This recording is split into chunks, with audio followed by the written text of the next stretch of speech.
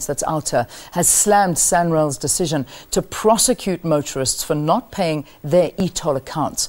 Two prosecutors have been appointed after talks between the National Roads Agency and the National Prosecuting Agency. OUTA spokesperson Wayne Duvenage joins us in studio to discuss this issue further. Wayne, thank you for being our guest and welcome to the program. Good morning.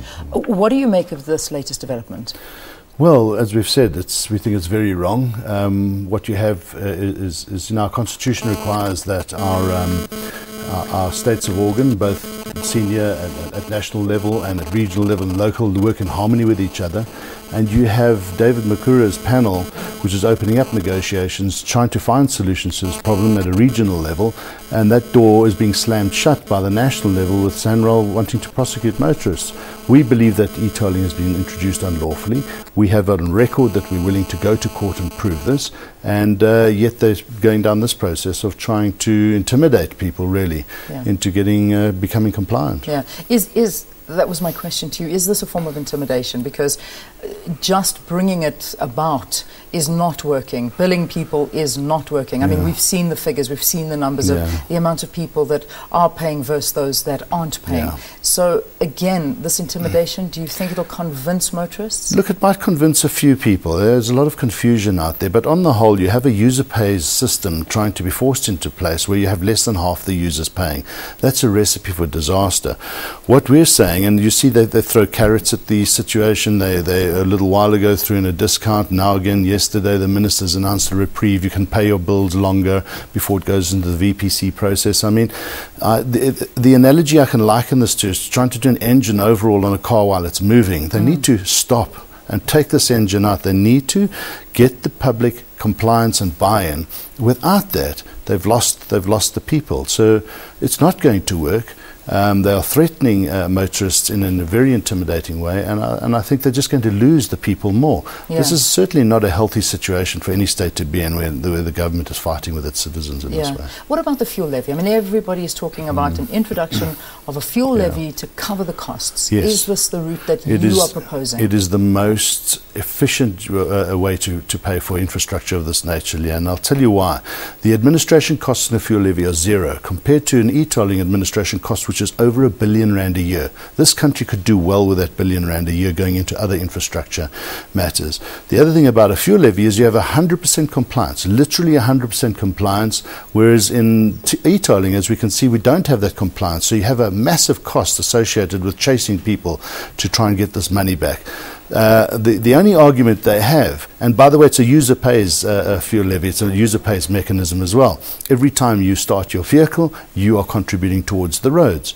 Uh, so the only problem they've got is, well, why should the rest of the country pay for Gauteng's roads? But we keep saying these are South Africa's roads. Mm. The rest of the country benefits immensely from what happens here in Gauteng, getting yeah. people to and from work, goods to and from markets, and so forth.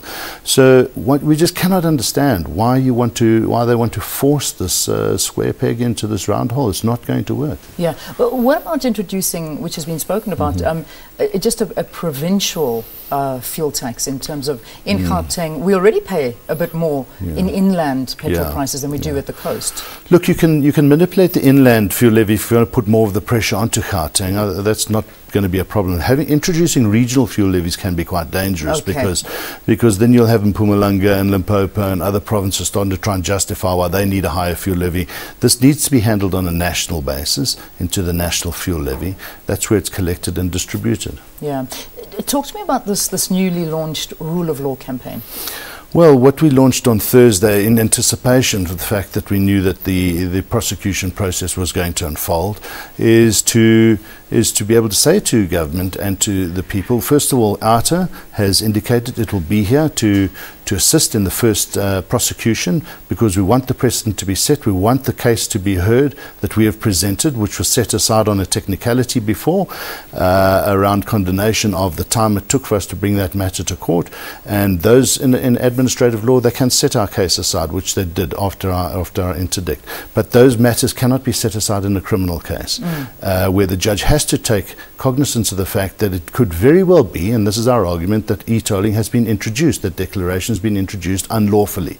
And that is, if you do not consult meaningfully with the people, give them the right to impact on that decision, It is not right. That is a constitutional right and even in the SANRAL Act.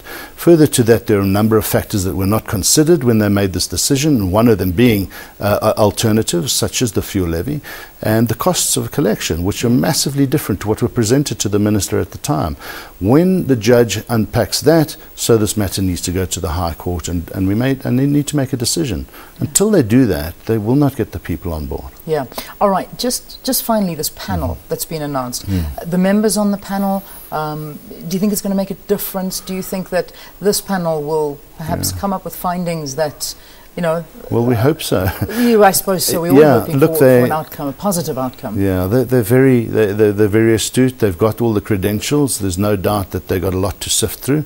Um, it is at a regional level. The decision needs to be made at a national level. We hope that they will then give the information and the recommendations through to both uh, David Makhura, the Premier, as well as national level, and, and some decisions, some sensible decisions mm. can be made so that we can move forward as a nation in building this country, not destroying it the way we are right yeah. now. So I suppose the big question is to pay or not to pay? I think uh, uh, this is the time for civil courage. This is the time to stand strong. The message is getting home, and um, people must continue to do what they've been doing. And that's not pay. Well, it's their decision not to pay. okay. All right, Wayne Duvenage, thank you for talking to us.